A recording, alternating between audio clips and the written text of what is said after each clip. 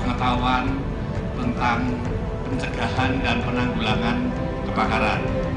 Juga kita ingin uh, memberikan bekal bagaimana kita apabila bahaya itu terjadi, bagaimana kita cara menyelamatkan baik jiwa kita maupun jiwa rekan-rekan di sekeliling kita ataupun keluarga kita, bagaimana evakuasinya.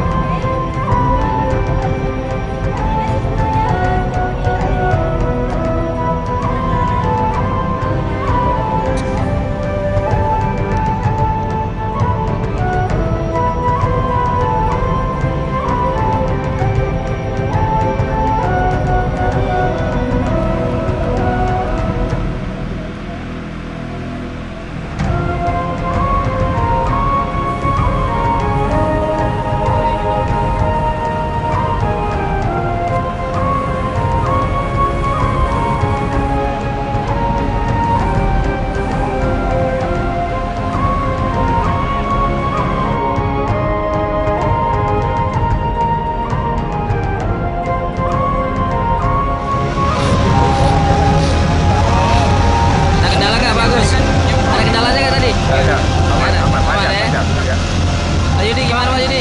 Aman. Sebenarnya.